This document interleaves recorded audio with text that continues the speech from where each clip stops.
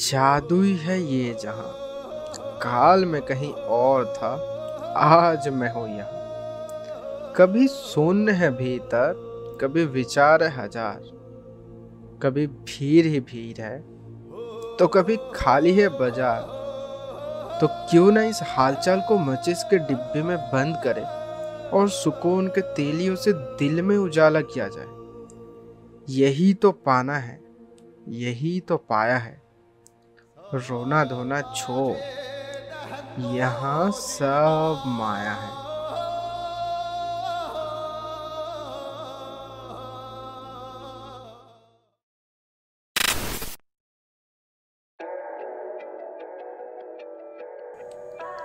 Sikkim blog का episode one और two में हम लोग कोलकाता से पेलिंग पहुँचे थे। फिर अगले दिन मॉर्निंग में निकल गए आसपास का साइट सीन देखने के लिए। अगर आप लोग अभी तक दोनों एपिसोड नहीं देखा तो प्लीज़ आई बटन पे टैप कीजिए एंड देख लीजिए, क्योंकि ये है सिक्किम ब्लॉग का थर्ड एपिसोड सुबह हुआ था कांचनजंगा को आँखों के सामने से देख के तो बाकी पूरे दिन तो अच्छा जाने वाले ही है नो डाउट और कभी खराब तो कभी अच्छा रास्ते से धीरे धीरे पहुँच गए, एक और साइड सीन के यहाँ। ये है रिम्बी वाटरफॉल्स गाड़ी के अंदर से इतना फील नहीं आ रहा था। इसीलिए ड्राइवर भैया को बोला साइड करो, जाके देखते हैं अच्छे से।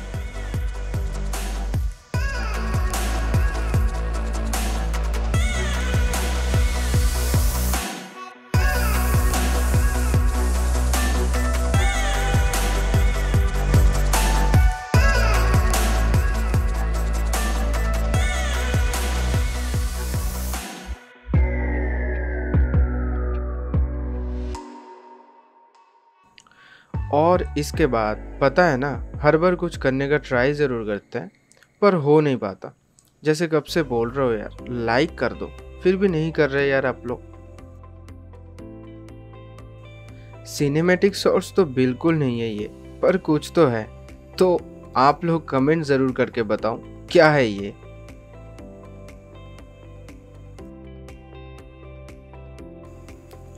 रिम्बी वाटरफॉल्स के बाद रास्ते के साइड में रुका था, मॉर्निंग टी लेने के लिए। पर उसके साथ साथ एक और शानदार व्यू पॉइंट भी मिल गया साथ में। यह है डेंतम वैली। यहाँ पे रुकने का कोई प्लानिंग नहीं था, पर अभी ये सोच रहा हो कि एटलीस्ट मिस तो नहीं किया ये ब्यूटीफुल व्यू एंड आप लोग भी बिल्कुल मिस मत करना। यहाँ पे काफ़ी अच्छा फोटोशूट वगैरह हो जाएगा। एंड उसके साथ साथ अगर रील्स बनाना चाहे या फिर छोटा वीडियोस बनाना चाहे तो ये आप लोग कर सकते हो यहाँ पे। काफ़ी शानदार व्यू है यहाँ से।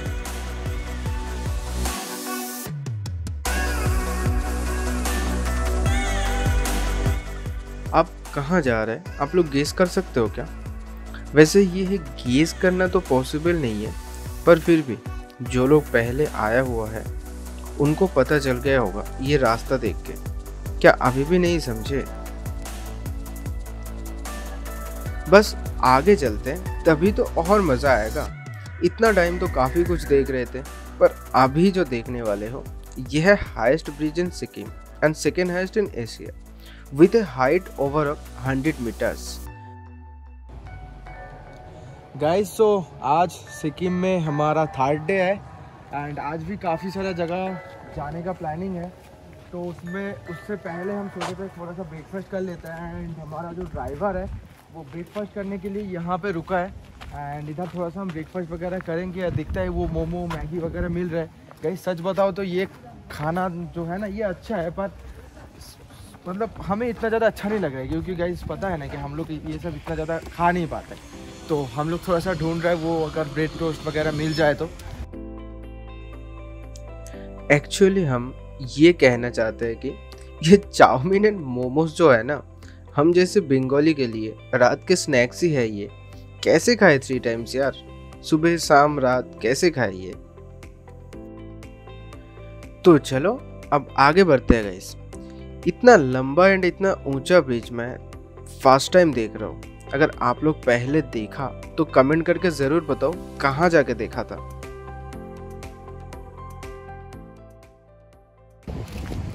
क्या व्यू है गाइस मस्त व्यू है। इधर दिखाओ। इधर दिखाओ। क्या व्यू है भाई? मस्त है।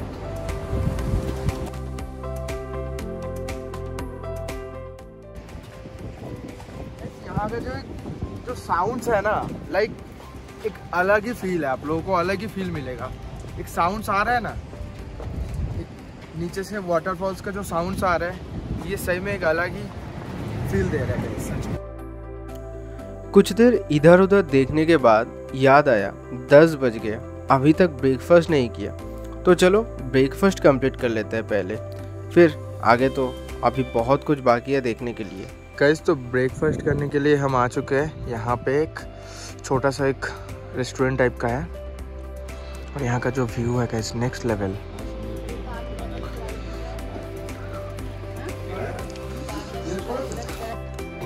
तो गाइस ये देखो हमारा ब्रेकफास्ट आ चुका है। पहले तो आ चुका था सब सब खा के सब खा के ख़त्म कर दिया। और इधर और एक देखो, सूप के साथ एक पैटिस टाइप का कुछ आया है।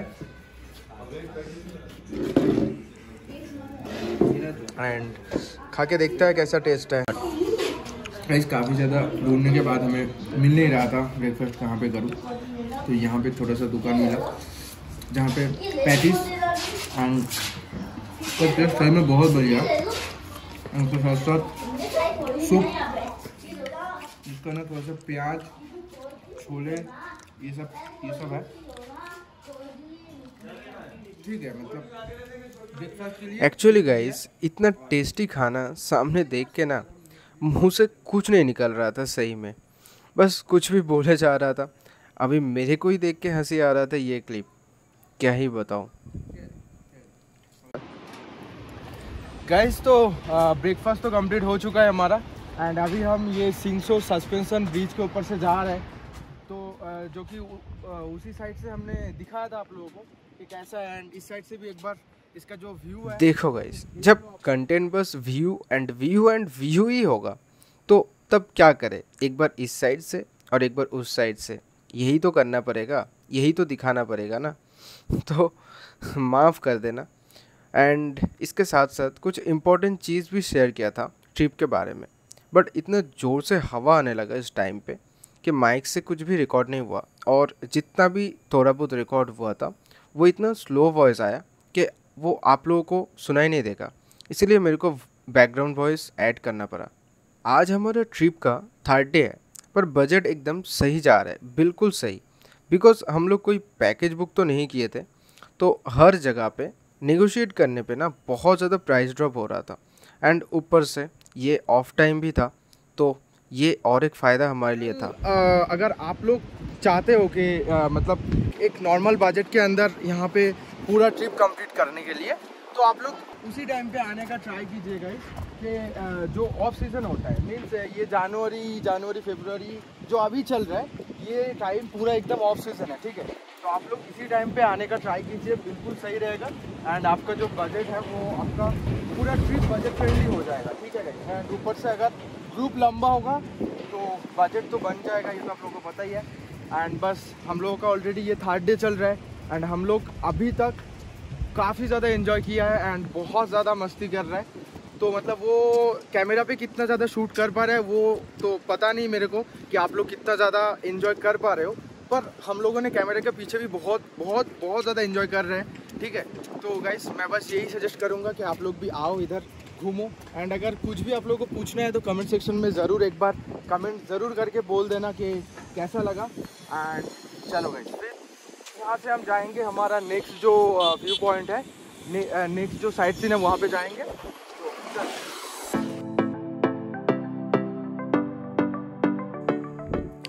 एक्चुअली सिंगसोर ब्रिज के बाद प्लानिंग तो था नेक्स्ट साइट सीन आज ही कंप्लीट करने का, पर प्लान चेंज हो गया एंड सिक्किम का एक ऑफ़ साइड पे एक रिसोर्ट के बारे में पता चला गूगल बाबा से। तो वो ढूँढने चले गए एंड वो रिसोर्ट का रेटिंग्स काफ़ी बढ़िया था। इसीलिए वहाँ पे ही जाना था। क्या खास है देखने के लिए?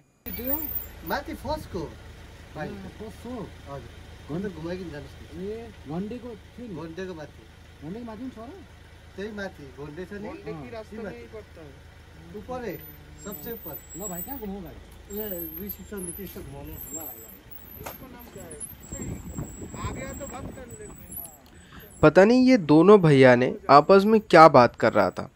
एक्चुअली इनका लैंग्वेज हमें समझ नहीं आ रहा था। बट जो समझ में आया, वो था माल्टीफॉस को एंड सबसे ऊपर। तो इनमें से सेकेंड वाला तो हमें पता ही है, पर फास्ट वाला का मीनिंग मेरे को नहीं पता। हम गलती से एक दूसरे वाला रिसोर्ट पे आ गए थे, पर जब आ ही गए तो सोचा, एक बार देख ही लेते हैं ऊपर से। तो चलो फिर, चलते हैं ऊपर।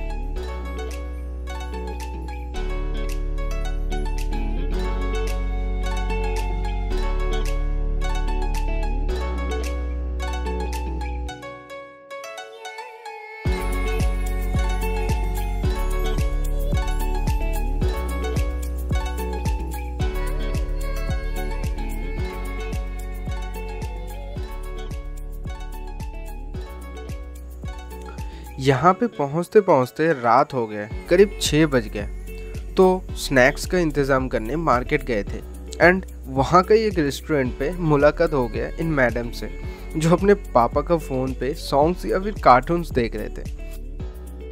Hello hello what's your name what's your name. तो थोड़ा इन्हें डिस्टर्ब किया। फिर नाम पूछा। हाय बोल दो। समझ में तो आया नहीं इनका नहीं। पर फिर भी क्यूट तो था। थैंक यू काफ़ी टाइम से बाहर घूमने के बाद स्नैक्स तो मिला नहीं तो फिर से वापस आ गया होटल पे। एंड यहाँ पे एक टी ले लिया। एंड उसके बाद ही स्टार्ट हो गया bonfire with barbecue chicken and guys इसके साथ साथ हम लोग थोड़ा सा गाना के इंतज़ाम भी किए थे। इसका मज़ा कुछ और ही है गाइस पाँच दोस्त अपना शहर से काफ़ी दूर एंड सब अपना फ़ोन को कर दिया साइलेंट कोई फ़ोन पे बिज़ी नहीं है. पता है कहाँ पे बिज़ी है? बस सब अपना गोल्डन मोमेंट को एंजॉय करने में बिज़ी है. आजा सनम मधुर चांदनी में हम तुम मिले तो फिर में दिया गाना भी गा रहा है पर गलत लिरिक्स वो भी अच्छा लग रहा है। और क्या चाहिए जनाब? क्योंकि जब मोमेंट ही अच्छा है तब सब कुछ अच्छा लगता है। क्या है ना? यस आपको ही पूछ रहा हूँ। रात कब और कैसे ख़त्म हुआ बिल्कुल पता नहीं चला। एंड इसके बाद क्या किया वो भी नहीं।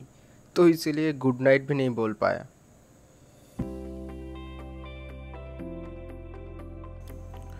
Good morning from Kaluk, guys.